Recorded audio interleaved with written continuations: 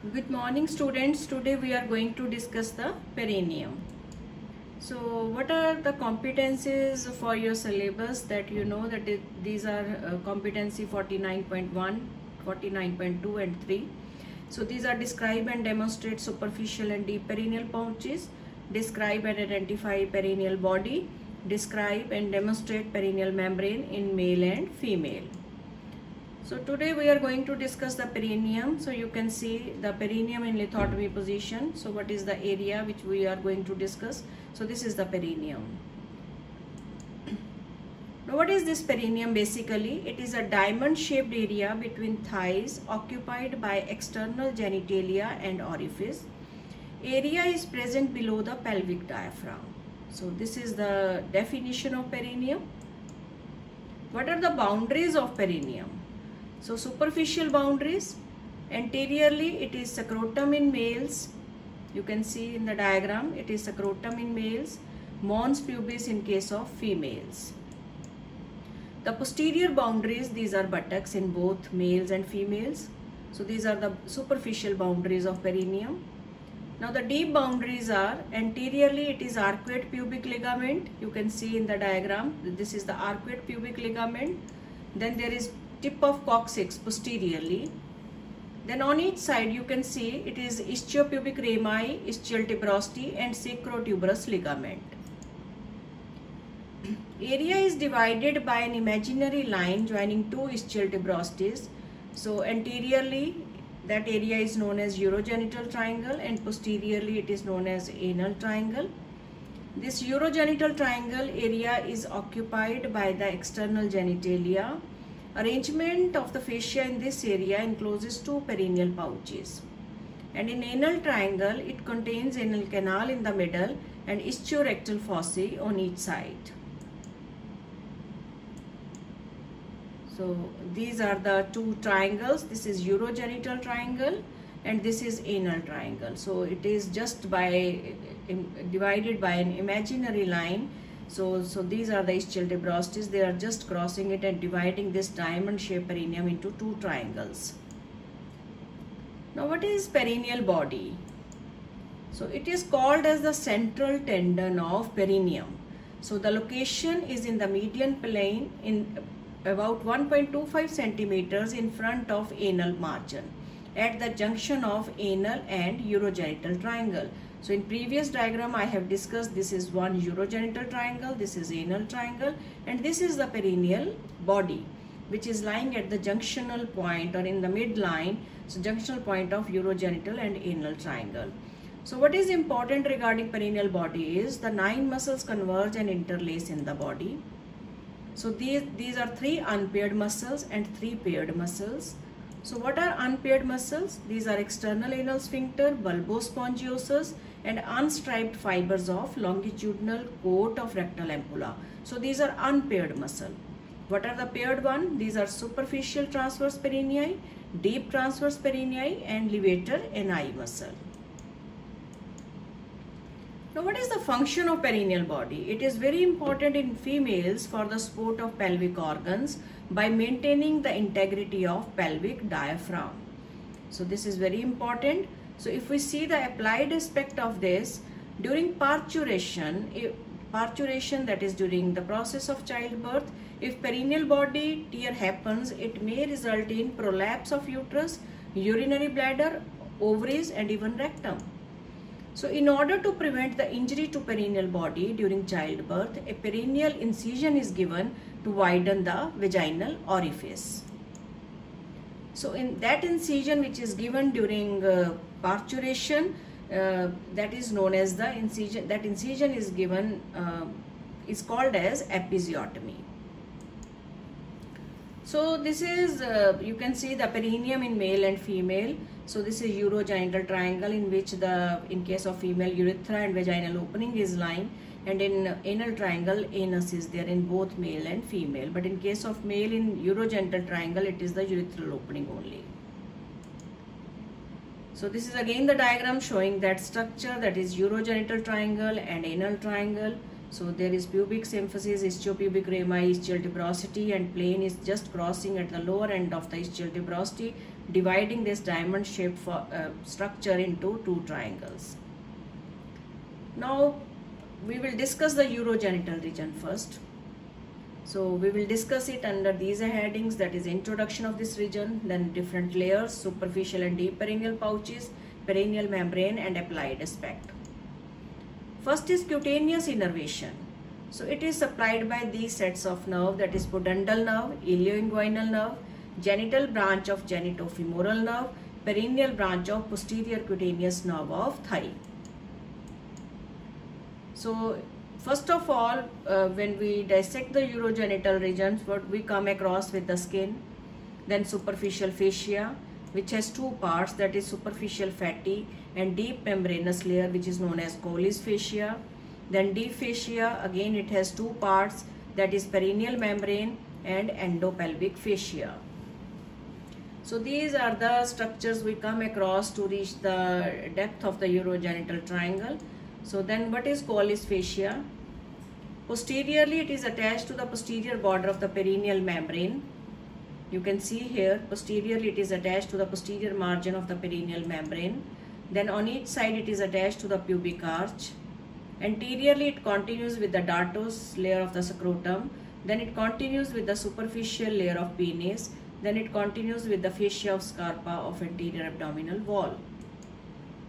So you can see here so this is again the diagram showing that is this uh, fascia, Colles fascia is attached here from the posterior margin of the perineal body coming downward just uh, enclosing the scrotum region then fascia of the penis continuing with the uh, fascia of the anterior abdominal wall.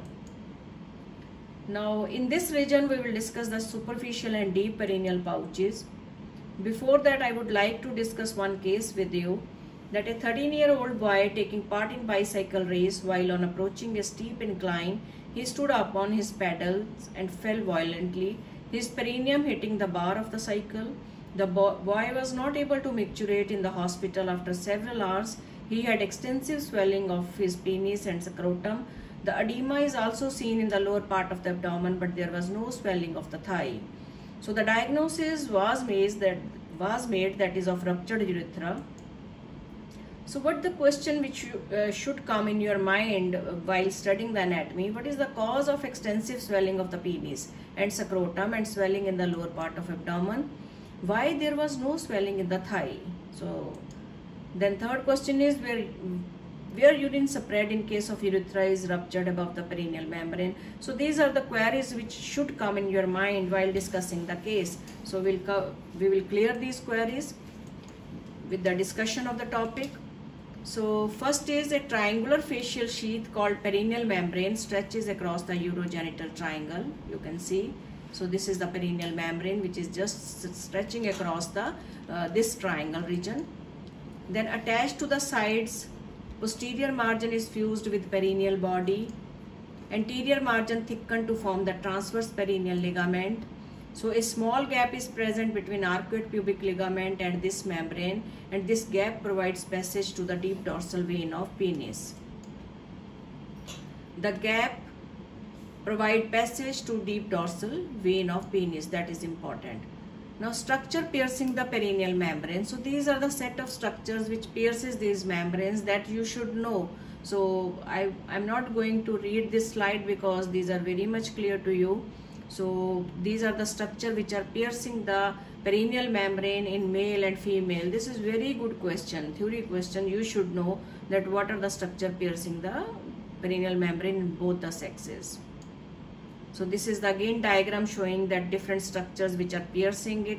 In case of male, you can see dorsal artery of penis, urethra, artery to the bulb of penis, opening of the duct of bulbourethral gland, then there are posterior scrotal vessel and nerve, deep artery of penis. So these are the structure and through this gap which is present anterior to this perineal ligament that is deep dorsal vein of penis and dorsal nerve of penis. So this is in perineal membrane uh, in case of females.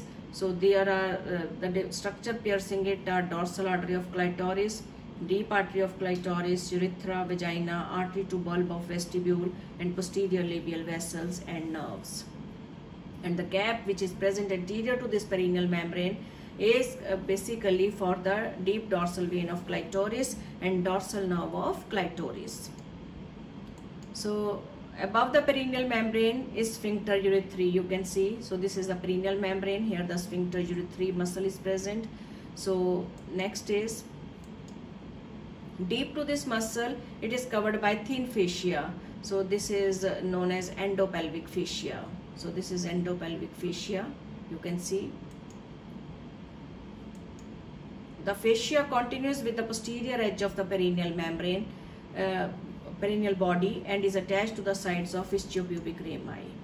You can see. So arrangement of the fascia in urogenital region divide the area into two pouches. So I have uh, shown you these two process. So this is one pouch, this is another pouch. So this is the deep perineal pouch, this is the superficial perineal pouch. So beneath this perineal membrane is superficial. Between endopelvic fascia and perineal membrane, this is the deep, uh, deep uh, perineal pouch. You can see superficial and deep perineal pouches. Now superficial perineal pouch, it is superiorly perineal membrane is there, inferiorly colles fascia is there, laterally conjoint ischiopubic rami is there, anteriorly it is open you can see this is open and continues with the anterior abdominal wall this this statement will definitely uh, clear your query from that clinical case. So it is open anteriorly.